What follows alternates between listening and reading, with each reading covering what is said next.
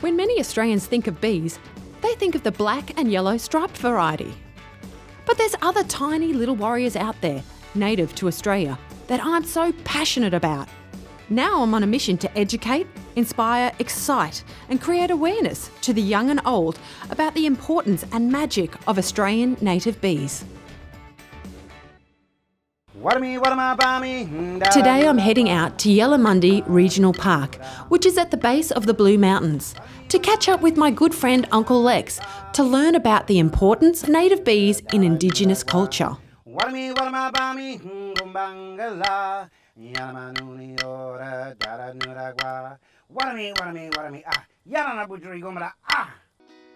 Welcome, and today we're at this beautiful location and we're talking with Lex. Lex, can you tell us a little bit about what you do? Um, I'm a Darug man, so that's the Sydney mob. Um, and I'm actually from the Wamali clan, which there's 29 different clans in Sydney.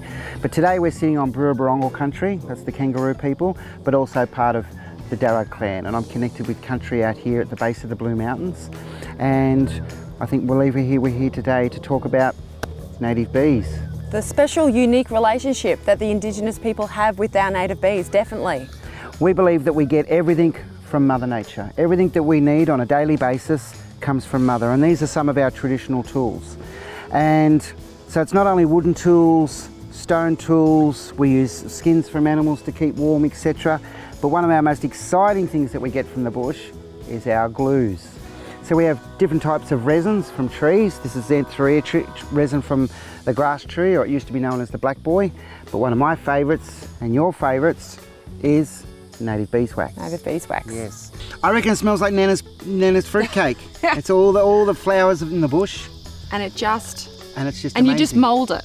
I just mould it, but we can use it for a lot of different things. Traditionally, the Indigenous people use propolis, which is a combination of beeswax and plant resin on their yidaki for the mouthpiece. Today we're using pure native beeswax to demonstrate. So I'll show you how we do it. We left some of this out in the sun earlier so it's softened up and we work it and we just put it on here and we just slowly mould it around we squash it down the sides so it seals up to the wood. But there's also a hole in here, Mel. So you can see that hole there. So instead of wasting the whole yidaki and throwing it away and saying, oh, it's no good, it's got a hole in it, we have something from Mother Nature. And we can fix it. Exactly. So I would just push some beeswax right into that hole to plug up that hole, okay? So not only to fix tools, not only to make jewellery. So many uses. So many uses. Okay, so earlier you, we were talking about the friendship bracelet that you've made me. Can you explain a little bit about how you did it and what it's made of? But there's actually a special story of that uh, with that stringy bark bracelet. Can you share it with us? I'd love to share it with you. So if we're selfish and we're greedy and we're throwing our rubbish around and for instance the native bees, if we think we're better than the native bees and they're not important, we can be like this bit of bark we're not as strong as we possibly can be. So let's pretend that this is our native bees and this bit of bark is us. And when we're working together, being humble, looking after the environment, looking after each other, in turn we look after the bees and all the other animals, etc. But something special happens when those two pieces of bark come together. You know what happens, Mel? We get stronger. We get stronger, and I'm going to show you that. But when we work together with the environment and each other, like this bit of rope, we become strong. We can't be broken. So I'll get a little bit of beeswax. Again, bit of glue. Don't have to go down to Bunnings, we just go out to the bush. get a little bit of beeswax from Mother Nature. But don't take it all. It's very important that our old people teach me and my old uncles and aunties and, and their old uncles and aunties taught them that we never take everything. It's not just ours, just because we find it, we don't take it all. We only take a little bit a little what bit. we need. Mother Earth will provide everything that we need, not what we want. So I put that little bit of beeswax in there with the end of the, the and mould it on. Mould it on. So as you can see, Mel, after we put the beeswax on and the gum nut, and that little loop that we started off with ah, turns into its own little clasp. So pretty neat. Don't have to go to the jewellery shop. This is how I proposed to my wife. I gave her a wedding ring. No, I didn't. there you go, bit of bush jewellery. Lovely. And so, can you feel those little scratchy marks as well? Yes. Yep. Well, sometimes our relationships with the Mother Earth, with each other, are a little bit scratchy. But the more humble we work with each other, more respect we have with each other, more trust and patience, all those prickles wear off.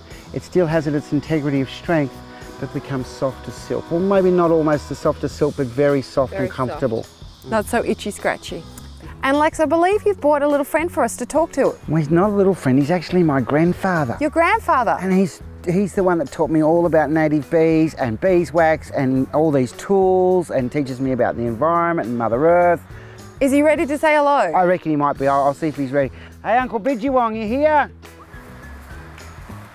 Yeah, I'm here. You going? Warami, Mel? Warami, boys and girls? Warami is like saying hello in our Darug language. How you been, Mel? Very good, thank you. What have you been doing? Just hanging out here with Uncle Lex. What have you been talking about? About bees, about oh. native bees. That's pretty cool, hey? Very cool. When I was a little kid, we used to track them through the bush. We used to wait for them to come and have a drink by the water and put some soft duck down. That's the really light duck feathers. And when they have a little drink, the feather would stick to them and we could see them because they're like a little black fly, you know. And then they fly through the bush with a white feather on and we could find where they had the sugar bag. That's what we call the beehive. And then we'd rob a little bit of honey, true story, and take some back for mum and our aunties. Anyway, I gotta go because I've got some important business to do in the bush. Got to teach some other kids about the bush. But I'm gonna say Yanu. You know what Yanu is? No. Yanu is like I'll see you later. Because in Aboriginal culture, if I say goodbye, I'll never see you again.